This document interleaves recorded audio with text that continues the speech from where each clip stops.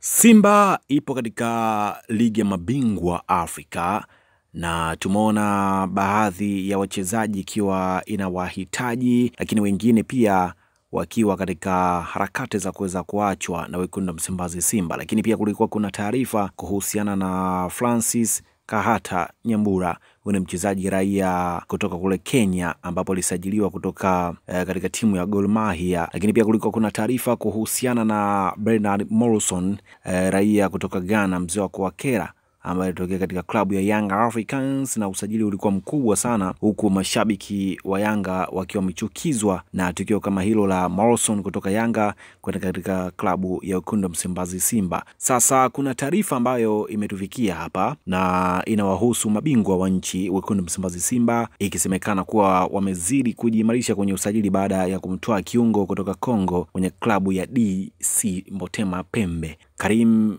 Kiekie Kimvuidi Ntikubuka.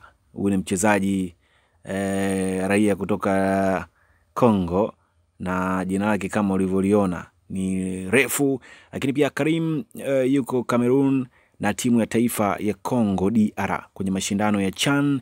Kwenye mchezo wa jana alivaa jezi namba ishirini na sita kama mtu atakuwa anafuatilia michuano hiyo ya CHAN kule Cameroon, ambapo Tanzania pia e, watashuka dimbani siku ya kesho. Na alipokuwa Dar es Salaam kucheza na Taifa Stars, kama unakumbuka, ulienda uwanjani, alikuwa amevaa jezi namba kumi na saba. Anatumia mguu wa dhahabu wa kushoto, namaanisha ni moja ya kati ya viungo hodari sana, akiwa amezaliwa tarehe kumi na tatu mwezi wa pili elfu mbili na mbili. Lakini pia Simba bado iko mbioni kukamilisha pia usajili wa kitasa kutoka Zimbabwe, Peter Modua anayecheza klabu ya Highlanders ambayo iko CHAN pia ili kuimarisha kikosi, lengo likiwa ni kucheza nusu fainali ya ligi mabingwa.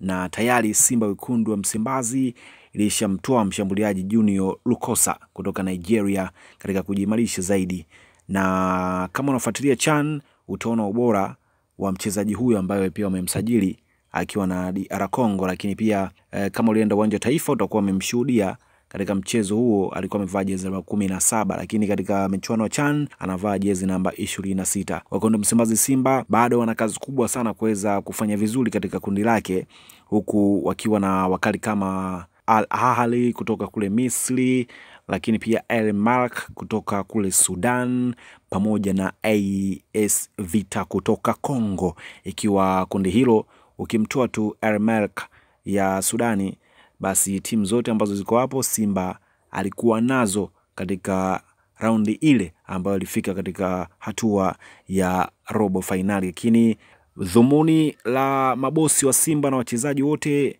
msimu huu hapa ni kufika katika hatua ya nusu fainali.